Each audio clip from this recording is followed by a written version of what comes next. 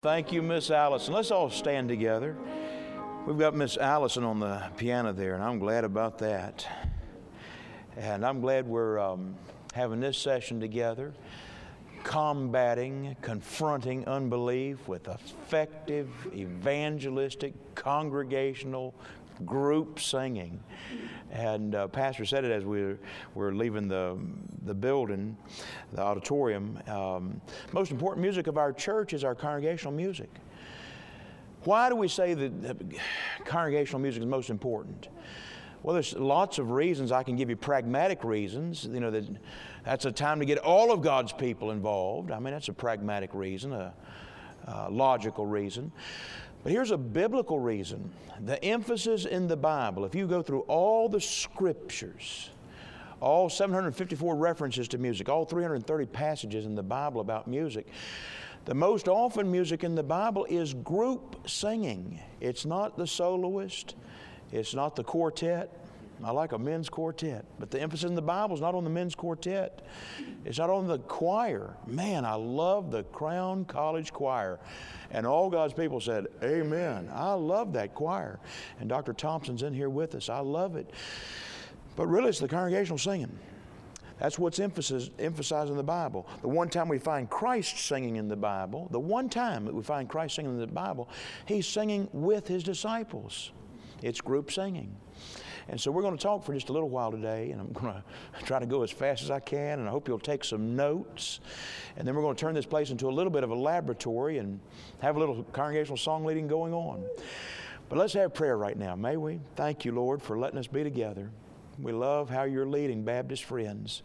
We love you, Lord, and we want to do your work your way. Thank you. We pray all this in Jesus' name. Amen. You may be seated. I do not care for anemic congregational singing. I don't care for sloppy congregational singing. I don't care for half hearted congregational singing. You know, I was at a church recently. That church has been in revival for two years. This church has been in revival for two years. This church is on fire. They're planting another church. They're enlarging their auditorium. Their building is maxed out. They're seeing people saved. They're seeing people baptized. They had me there doing many things, but one thing I was doing was teaching them brand new songs that they had never seen before. They have our hymnal, Bible Truth Hymns, and out of their hymnal, I was teaching them songs they had never seen before. Tis the blessed hour of prayer when our hearts slowly bend and we gather to Jesus, our Savior and friend. Well, they didn't know the song. There's several songs they did not know. I'm teaching them brand new songs. But let me tell you something. They were singing them at the top of their lungs. They don't know them, but they're singing at the top of their lungs. Friends, when a congregation, when their hearts are full of Christ, they will sing. Revival and singing go together. I've never seen a big work of God in a congregation that the congregation didn't sing. I've been in some meetings some evangelistic meetings that, I mean, things were just so good and so vibrant that I've seen it this way. The song leader would get up and say, Number 32 and people would start glorifying God just hearing the number. Hallelujah! Well, you don't even know what number 32 is. No, but if it's in that book, we like it, Brother Foxx. on fire, vibrant. Shouldn't God's people be on fire? Amen. Some real zeal, some joy of the Lord, some fervency. Oh, and we need all that in our singing. I'm, I'm not interested in anemic and weak and lackluster and half hearted. No, I'm not interested in any of that. Let me give you a, a few notes. Number one, congregational music should be for the glory of God. Congregational music should be for the glory of God. Uh, 1 Corinthians 10.31, whether therefore you eat or drink or whatsoever ye do, which includes congregational singing, and whatsoever you do, do all for the glory, to the glory of God. Whether therefore you eat or drink or whatsoever you do, do all to the glory of God. And so all of our congregational singing is for God is about God and it's to God. That's the directions. And uh, the congregational singing is to advance the cause of Christ and should motivate people uh, to uh, bless their Lord and to uh, launch out at His command and, and uh, do exactly what God has bid us to do. Number one, congregational music for, should be for the glory of God. Number two, congregational music should be for the furtherance of the gospel. For the furtherance of the gospel. Now, what exactly is the gospel? It's the death and the burial and the resurrection of Jesus Christ.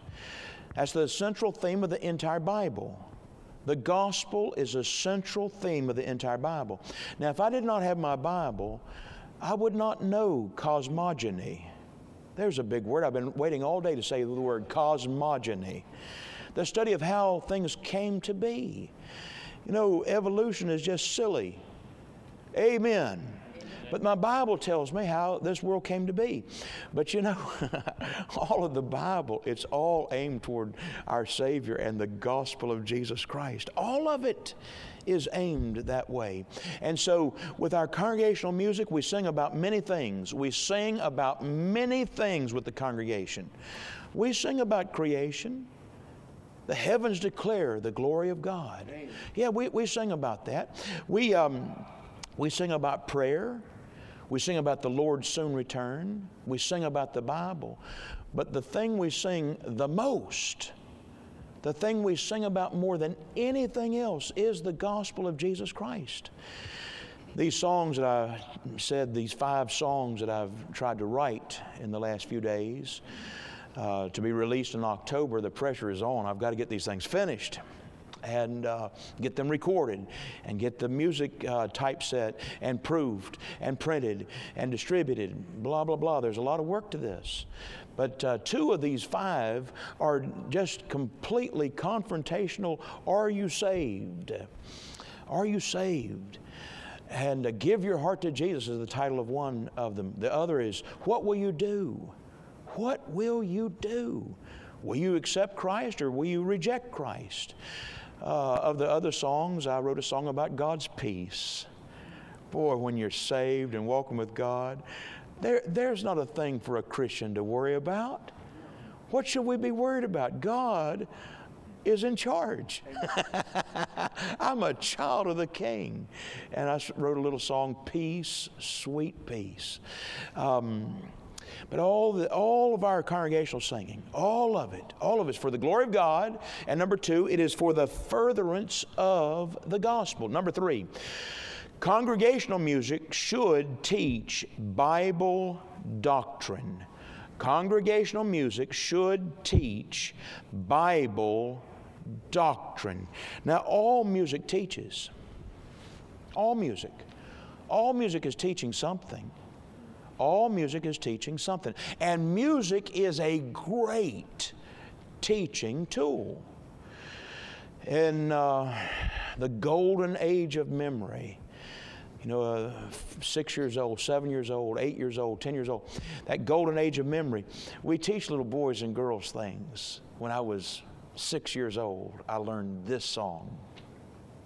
A, B, C, D, E, F, G. I can still sing it, man. Now I never will forget how to say my alphabet. I learned it, man. I can still sing it. Miss Barba was my first grade teacher. She had a ruler. She could straighten kids up back in those days. but she taught me. And I can still sing those songs. And um, uh, listen, write it down. What is learned in song is remembered long. That's just true. People forget what the preacher even preached, but they remember what they sang. There's lots of reasons for that. Do you know when do you know that when we sing both sides of our brain are in operation? Both sides of our brain are in operation when we sing. When we stand around talking, huh, only one side's working. so, and we're not always sure that even one side's working. but music is a great teaching tool. It's a phenomenal teaching tool. And so we're trying to indoctrinate. All right, say, Brother Foxx, what is doctrine? What is doctrine. Is that when you get sick and you need some doctrine? Go to the doctor and get some doctrine?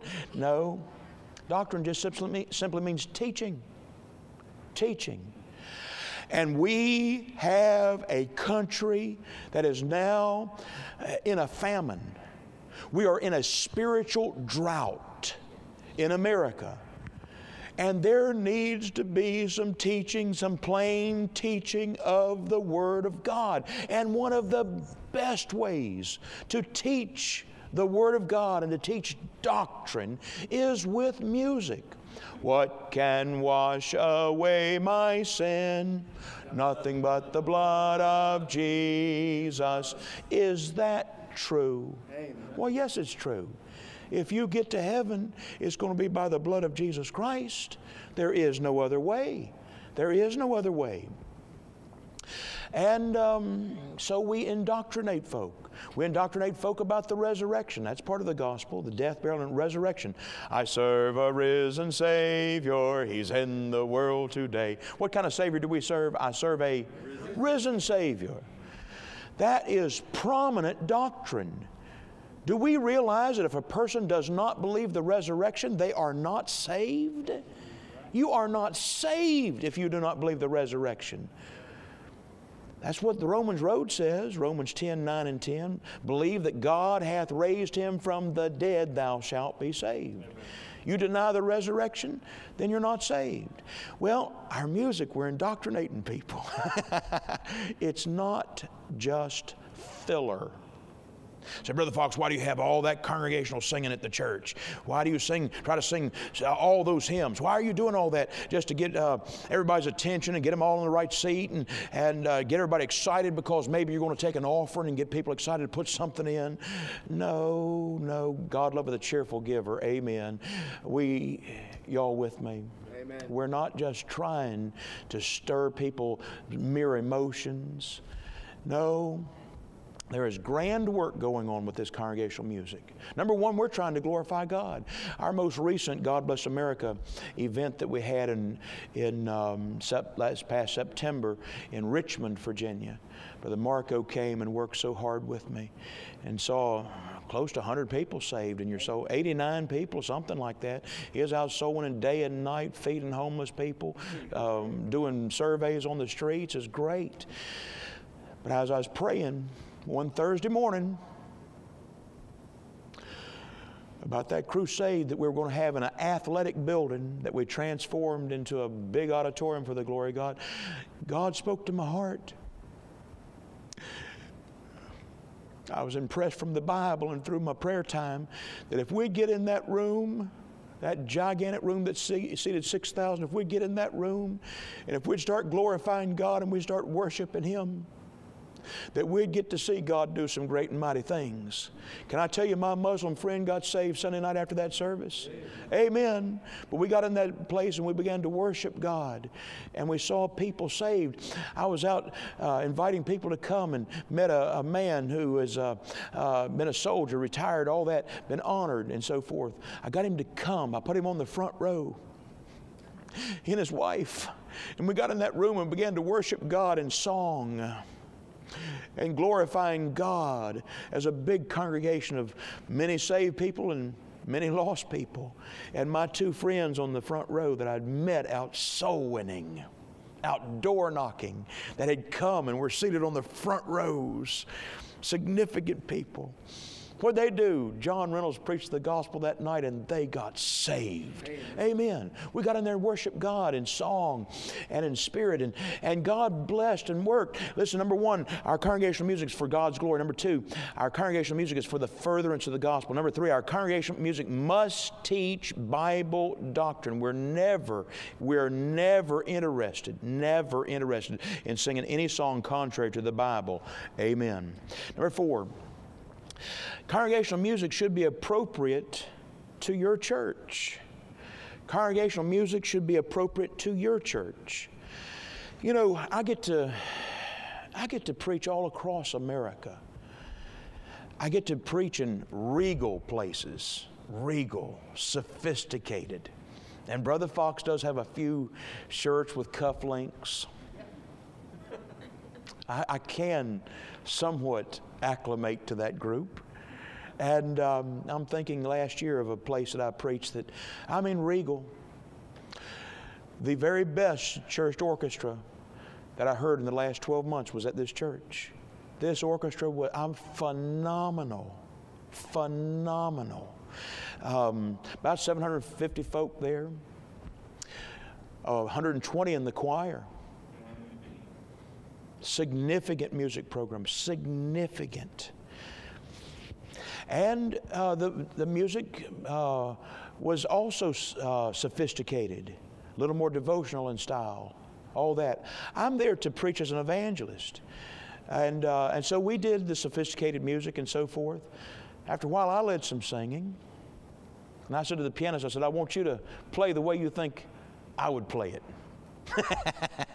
said, imagine me and my personality, how I would play this. I said, we're going to sing Leaning on the Everlasting Arms. And I said, I'm not going to scare anybody in this room. I said, but we need to get a little stirred up for Jesus Christ today. I, I don't want us, I do not want us to just go through the motions. Amen. But at the same time, I recognized the culture. I had doctors, I had lawyers in that room, all this. By the way, we had revival at that church. Can I tell you who led the way? The teenagers and the millennials. They led the way. In fact, in every great revival I've ever read about, it's been millennials and teenagers because their will is still so pliable. But I, I chose music while I was there, I chose music mostly that would fit that particular culture that I was in. The very next meeting that I went and preached, I drove up a mountain in North Carolina and I'm finally on a dirt road and gravel road. I'm driving up the road, and my my um, my GPS girl. I have so many ladies keeping me straight. My wife, my daughter, my mom, my mother-in-law. and a GPS girl and a Siri girl inside my phone. I got a lot of girls, a lot of ladies trying to keep me straight, man. I'm going up that mountain, and GPS girl said, You have arrived. No, I hadn't. I'm surrounded by trees. I said, GPS girl, there's not a building in sight. I kept driving up that mountain. Got to the top of the mountain. There was a white building. No steeple, no church sign. I said, that's got to be it. I'd never been there before. Went inside, found 150 mountain Christians. And they were singing the roof off. 150, 50 of them were in the choir. That's the right kind of percentage, isn't it? One third of the folk were in the choir. They had a bass guitar beside the piano. Boom, boom, boom, boom. That's their culture. Nothing wrong with that. They probably have a banjo at that church occasionally. That's not of the devil. You can use a banjo for God. And while I was there, I acclimated with that particular group. I asked a man last night at this church service, last night, afterwards we was talking about different songs. I said, you heard that song, I'll Fly Away? He said, no, sir, I've never heard that song. Well, at that church I'm telling you about on top of that mountain, that's opening song on Sunday morning. that's music of the common man. I'll Fly Away is music of the common man. At your church, wherever you serve, and in the culture because to, to some degree you acclimate to your culture. We are in Tennessee here. Have you noticed? Hello? Amen. And so it should, to some degree, reflect the culture and so forth, but it's still all for the glory of God. Listen, God has made a big variety of music that we can use a big variety. And we'll talk some more about that as we go along here. There's big variety among God's music. You say, well, yeah, Brother Foxx, that's why I use Christian rap at my church because I want big variety. I'm not, hey, I am not advocating worldliness at all. I believe, I believe the greatest stronghold on our country, and I've thought about this a lot. I believe the greatest stronghold on our country is worldly music. I believe it's the biggest stronghold on our country. And the people who come into our churches, so many of them can sing every song that's popular among the world that's talking about immorality and talking about uh, cheating and talking about getting drunk and, and uh, living for self. The, the music of the world does not honor the Lord. Amen. Amen. It's not its goal. The goal of the world's music is not to glorify God. Yeah. And our people are enamored with it. And it, it's, I believe it is the biggest stronghold in our country. Oh, that we would use this congregational music. that we would use it for the glory of God, to further the gospel, to teach uh, the doctrines of the Bible, and then uh, at your church, select music appropriate to your congregation. Now, let's talk some practical things. I want to make sure I get to this. How should you, if you're the song leader, how many of you here, here have ever led singing at a church, ever led singing in a Sunday school? This very hey, this very morning, this very morning, had a little conversation on the phone. There's a man 86 and a half years old. That's what he said. He said it was 86 and a half. I guess once you get in the 80s, you go back to adding that half on. He's 86 and a half. He's still the song leader in his Sunday school class. He has 100 in his Sunday school class. Amen. And he's the song leader of that class. Wow. And he's still happy about it. He got out of the hospital yesterday. He said, Yeah, I got to get to church. I got to lead singing. well, all right. How many of you have led singing in Sunday school, uh, all that? Yes, in church, in services, at the rescue mission, at the nursing home. Get to lead singing. All right, let's talk some practical things. How do you introduce the song? Let's get our pianist in place, Miss Allison. I'm glad she's helping us today. How do you introduce the song?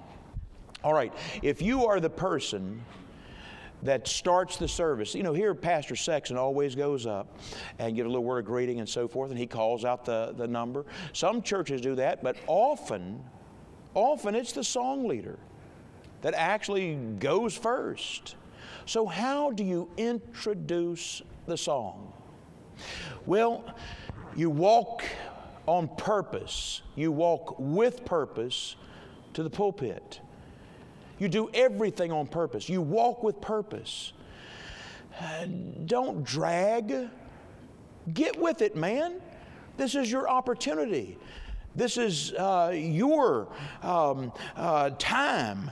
And you call out the number. Number 289. You that have books, find hymnals. Several of you have hymnals. I think we've uh, given all of them out. 289.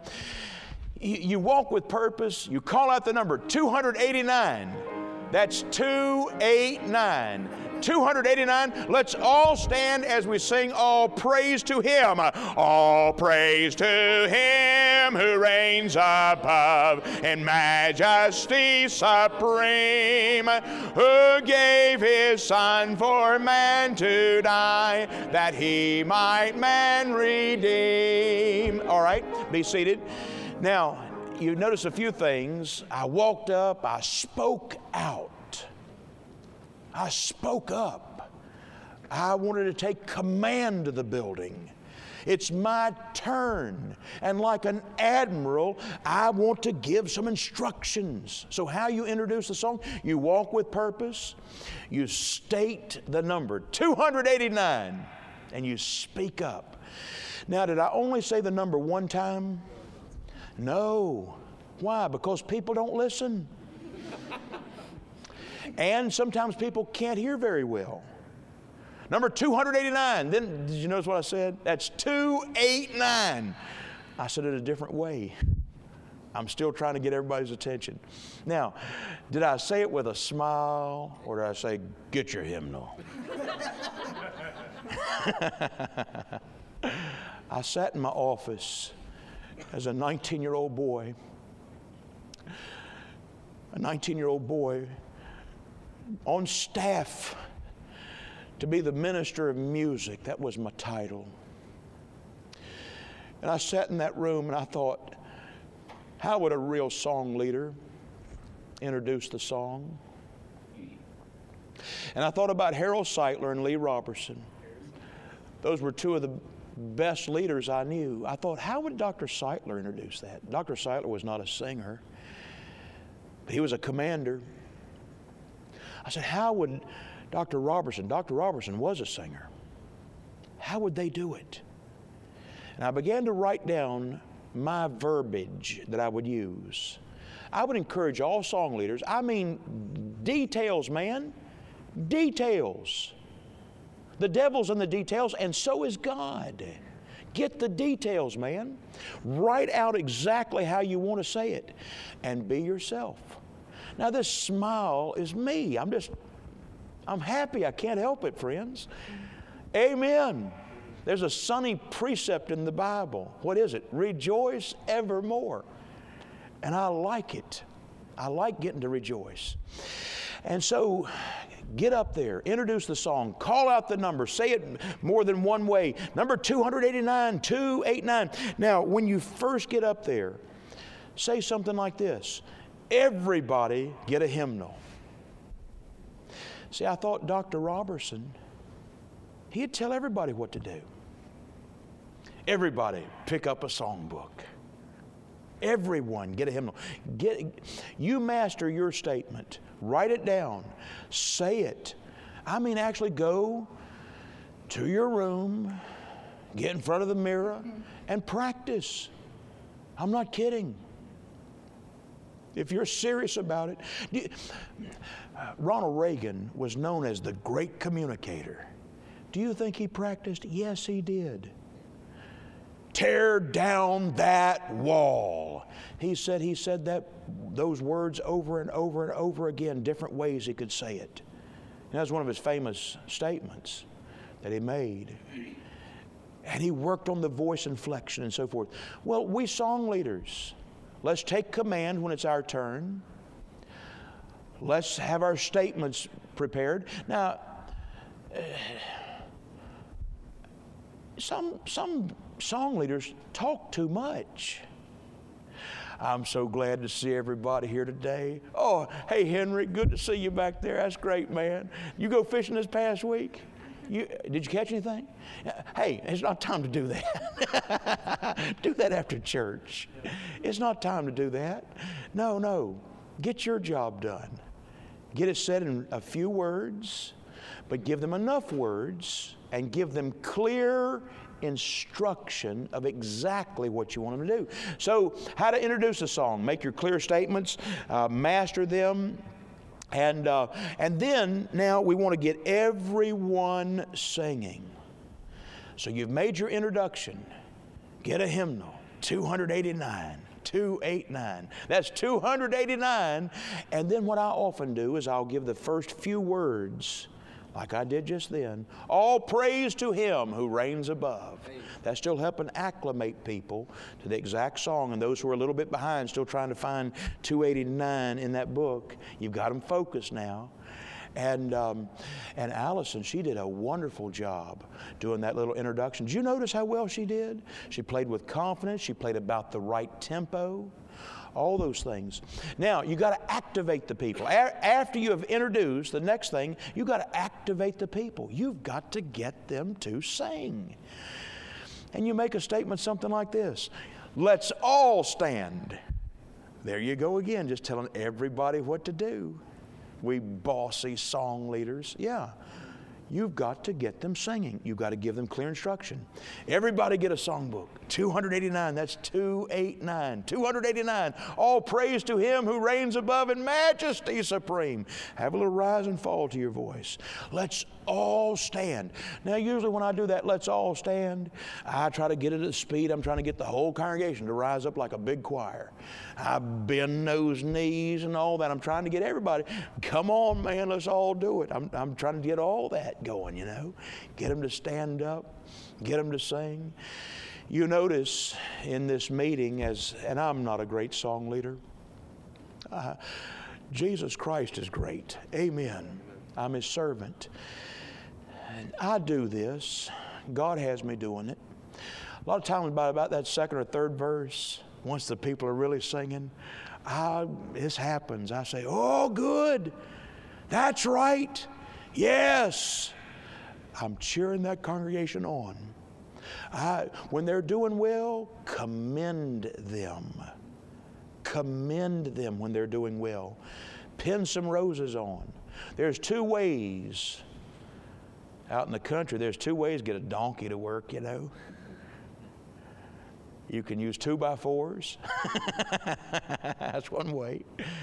Uh, or you can use some carrots, you know. And so I've learned when, people, when you catch people doing the right thing, commend them, encourage them, invigorate them, get them doing the right thing, and try to keep them doing the right thing. Now, does the choir, let's think about this.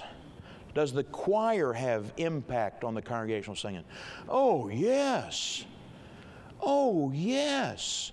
We want that choir leading the congregational singing.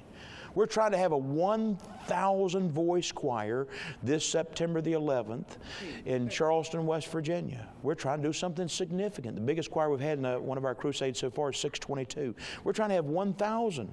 Does that sound good to you? wouldn't you like that, uh, Dr. Thompson? Thousand voice, uh, well trained. I've got six major rehearsals next month. I mean, all the choir folks already have their music. Today at 10 o'clock, I had an automatic email that went to all the choir members that said many things, telling them this announcement, that announcement. And at the end of it, it said, Have you listened to your rehearsal CD? Respond yes or no. And about 30 and 40 minutes afterwards, people went and got their CD, listened to it a little bit, wrote back, said, Yes, we have. now, every Thursday, I send that out to all these choir folks. Gotta, gotta invigorate people. But now, this choir, whoo, this major choir up here. I like big choirs. I like fervent choirs. I like trained choirs.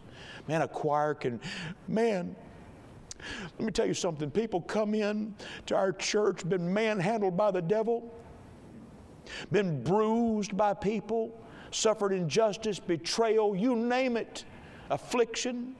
They come in there and that big choir is singing, that congregation is singing, whoo!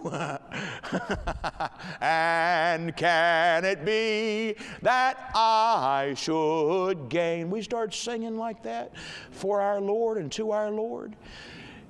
Oh, it invigorates Christians. But now that choir, it's not just that song leader out there, it's that entire choir. That choir is leading the congregation. Now, congregation folk are fourth word people. Most congregation folk, they're fourth word people. What does that mean? They come in on about the fourth word. All praise to Him who reigns above. You know what I'm saying? They're good by the word Him. but now that choir has got to be first word people. First word. They've got to be on the first word. They're helping leading the congregation. And from the first word, they need to be with us. Let's do a couple more practical things. Um, let's talk about how to select music. Um, on a Sunday morning, that song we just did, Blessed Be the Name, I love that. Every song is not a great Sunday morning opening song. Rock of ages, cleft for me. I like it. Is it a great opening song? No, no. I am so glad that our Father in heaven, I like it. Great opening Sunday morning song. Well, I think there's other songs that are better, a little more appropriate. Sunday morning, all hail the power of Jesus' name. Oh, yeah. Oh, yeah. Brethren, we have met to worship and adore the Lord our God. I don't know if you know that one. It's not as well known across the country as I wish it were. Brethren, we have met to worship and adore the Lord our God. Our church loves opening a Sunday morning service with that. Now, we only have at, at my church, we only have about 10 different ones, so we're going to sing them every, you know, five different times a year. Crown him with many crowns. That's a great Sunday morning opening song. That's a great one. That's a great one. Come, Christians, join to sing. Alleluia, Amen. Oh, worship the King, la, la, la, la, la. Those are great opening songs. All right? Now, to God be the glory. What time meter is that in? 34. three, four time. Now, you that are just learning to do, conduct time a little bit, oh yeah, just go around in your car conducting time. Go around the dorms. What are you doing over there? I'm leading my congregation. Where are they? They're invisible right now, but I'm going to have me one one of these days. I'm practicing, you know. And you're practicing that 4 4 time. And you know, um, compound meter. Let's find Jesus Loves Even Me. Um, uh, that is uh, in the hymnal. I had the number a moment ago. Who's got the number? Jesus loves even me. Um, pardon me, I, I've got that. Oh, 358, 358. That's 358, yeah. Um, remain seated, please. Now, let's conduct this. Give us a little introduction. Here it is, ready? I am so glad that our Father in heaven tells of his love in the book he has given. Wonderful things in the Bible I see. This is the dearest that Jesus loves me. Six, eight time, compound meter. Compound. Got our soloist right here. I like he's aggressive. Zeal is a good thing. Da da da da da da da da da da. One, two, three, four, five, six. One, two. You can overconduct a congregation. Too many little nuances that they have no clue what it's about. At the cross, four, four time. Alas, and did my Savior bleed, and did my sovereign die? You can overconduct that song. That song is so common. Alas, and did my Savior bleed, and did. You need one and three, is really all you need, the active beats. Now, you, it starts on what's called an anacrusis. I've been looking to get that word in too today. It starts on a pickup beat. Alas, and did my Savior bleed? Alas, and did uh, the song uh, we sang the other night, "Oh Happy Day," da da da da. You you've got to you those upbeats. Now you've got to get everybody in. You've got to own it yourself. And you've got to get that choir with you, and you've got to get those musicians with you. You've got to get that congregation, and you get that strong upbeat, and you've got to take command. And the bigger the congregation size, the bigger that arm span and all that sort of thing you've got to do. And don't keep it a mystery. I went to Bob Jones University. We had a fellow named uh, Dr. Gustafson. Man, he's like six four. He had this wingspan out there, man. And leading singing it, whoo, he could lead that singing.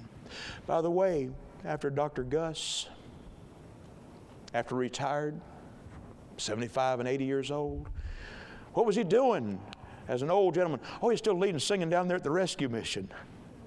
Amen. As an 80 year old. He's still using what he's got for the Lord. Amen. Amen. Till he died. Frank Garlock's in his 80s. He's still out preaching and still doing what he can for Jesus. Amen. I like song leaders that just stay with it all life long. Praise God. Hallelujah. Um, so learn your, your time meters, um, know your hymnal. Know your hymnal. Whatever hymnal you're using at your song, uh, at your, at your congregation or group that you're leading, know that hymnal. Know it. Bible Truth Music, uh, for our hymnal, we spent hours upon hours building what was called the topical index, the author index, and who wrote the songs. We put in the index what key every song was in. Because, for example, if you start a service in the key of C, first song, key of C, no sharps or flats, key of C. Should the next song be in the key of C? Eh, probably not. It'd probably be best to have a little variety on that, having the key of G, key F, key of A flat or G, you know, something different. The Bible teaches variety psalms, hymns, and spiritual songs. So you have variety. Variety. Variety in the subject matter, variety in the style of the songs. If you're going to do three songs back to back with your congregation, don't make them all in the exact same key and all in the exact uh, same time meter and all exact same tempo. Have a little variety. I mean, unless God leads you otherwise, use some common sense. Uh, this work as a song leader is realistic work. Use your sense. Use your sense. This is realistic work, not idealistic, realistic work. And so, um, all these things. Learn your hymnal, know it front and back. If you don't have a great topical index in your hymnal, buy one copy, please, of the Bible Truth hymns and get that. In, the book's worth the index in the back. Would you stand with me? Our time is up. Miss Allison. I want to say a gigantic thank you to you. I wanted to use you more, but you helped us. By the way, I've got eight copies. I have eight copies right here of the Crown College Choir. We've been selling these things for $12. But these eight, if you'll come with me, to me right immediately after this, you can get them for five dollars each. These eight, you can come get these eight uh, for five dollars. Not the whole, all eight for five dollars, five dollars each. If you come to me immediately afterwards, let's pray as we close. Thank you, Lord. Oh, please raise up some song leaders. Please, may we all volunteer to do your service, and please direct some to be song leaders. We pray in Jesus' name. Amen.